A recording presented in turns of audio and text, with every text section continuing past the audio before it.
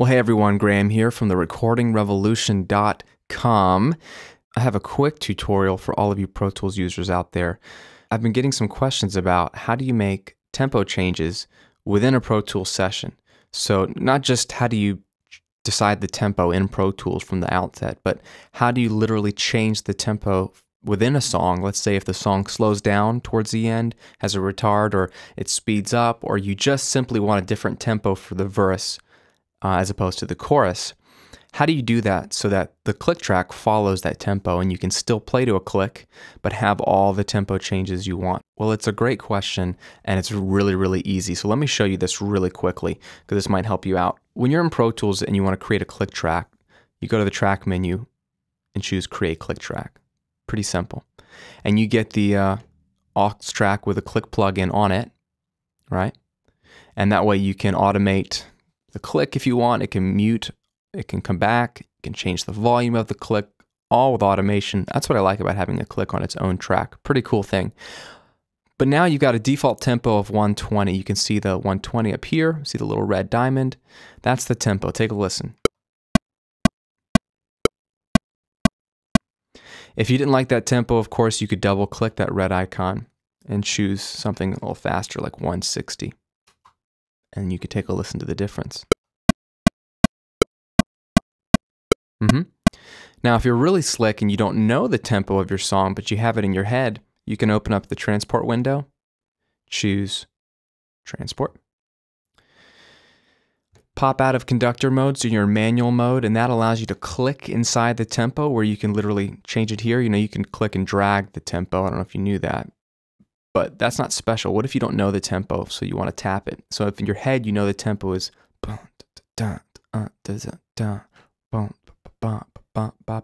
you kind of sing it in your head. Well, why don't you click in there, find the letter T on your keyboard, and with your finger tap along to the tempo in your head.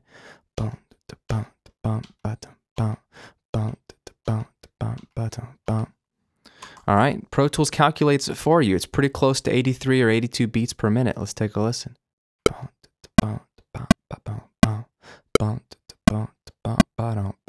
Boom, you've got your tempo and you can adjust from there. That's a little freebie for you. But let's say you found your tempo, and let's say it is 120 or 160 like we had earlier. And you like that tempo to start with, but you want the tempo to change. How do you do that? Well, what you have to do to make any kind of tempo changes throughout the song in Pro Tools is make sure you are in the conductor mode. That's this little button here in the transport. If you look closely, it looks like a man holding up his two hands, and in one hand he has a baton. He's the conductor, right? A conductor determines the tempo, tells the orchestra how fast or slow to play. Make sure that's enabled because then that's going to ghost out any manual tempo changes and instead they want you to use the tempo bar, which is up here in Pro Tools. If you don't see this bar that says tempo, by the way, up here there's a little drop down menu. It allows you to see tempo, the markers, the meter, the key, the chords. You can click that and add any of these rulers that you want to see. And then if you don't want to see them, simply hold Option or Alt and click those rulers and they can disappear. Okay? So right now I just want to see tempo and bars and beats. So in this hypothetical song, I've got the tempo of 160 for the first eight bars. But at bar nine, I want it to drop to 120. I want it to slow down. Well, if you're in a grid mode, which is a good way to go, select the bar you want the tempo to change, like I have here. And then over at the tempo window, press this little plus sign. So you're telling Pro Tools, I want to make a tempo change. Snap it to the bar, please at location bar 9, beat 1, and I want the tempo to change to 120. Click OK.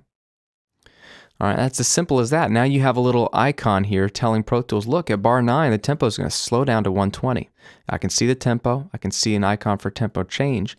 And if you look closely, you can see, why are we doing this so small?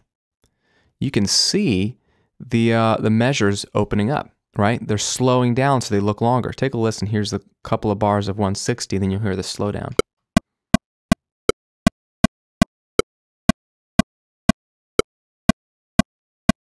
Right? Simple as that. The Click plugin will follow this tempo meter. So you could have as many tempo changes as you want. It could come back to 160. It could get slow for a minute. It could get fast for a minute. It can change for one bar if you want. Wherever you place the cursor and then hit the plus sign, that is where the tempo change will be. Now, what if you don't just want a static change like that? I don't know if that is always a helpful thing to have the tempo immediately change. What if you want the band to gradually slow down, right? Well, this is a really simple thing too. Fortunately for us, the tempo meter has some more functionality and I can hit this little icon, this little arrow to spin out some more information, to widen out that tempo meter, or tempo bar we were looking at. And what we see is a new view now. We see horizontal lines representing tempo. The higher the lines, the faster the tempo. So this line for 160 is a little higher than 120. The line drops down. They, they represent tempo from top to bottom, if that gives you a good visual. So, what if you want the song to basically slow down gradually from bar 7 to bar 9? So, you have two measures of it slowing down. So, by the time you hit bar 9, it is 120.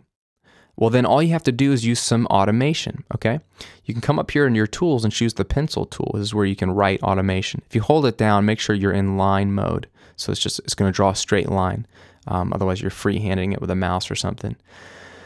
And then what you can simply do is just come over here to where you want the tempo change to start and click and drag down to where you want it to end. So I want it to start up there. I want it to end here, okay? And all it did was create a series of gradual tempo changes, evenly dispersed, to get me from 160 down to 120. Go back to our smart tool and we'll take a listen to what that sounds like. There's a couple of measures beforehand, two measures of 160, and then the two measures dropping down to 120.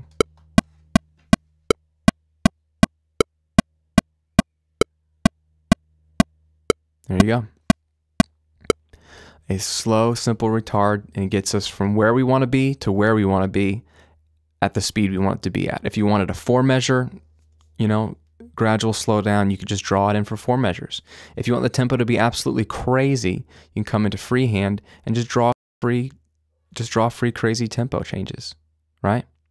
And then Pro Tools will follow that.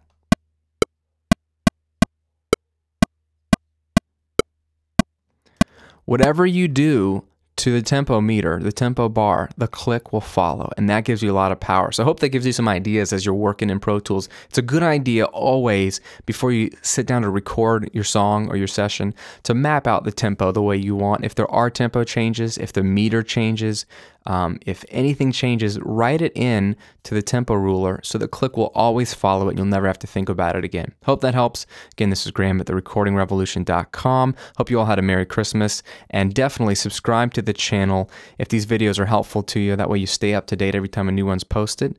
And if you haven't, I try to remind people on YouTube, head over to the site, therecordingrevolution.com. There's a lot more content there. I think so many people don't realize that we're posting articles and tips all week in addition to the video. So there's more free content there.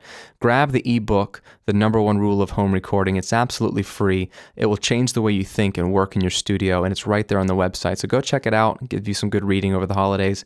Hope that helps. Have a great week. We will talk to you soon.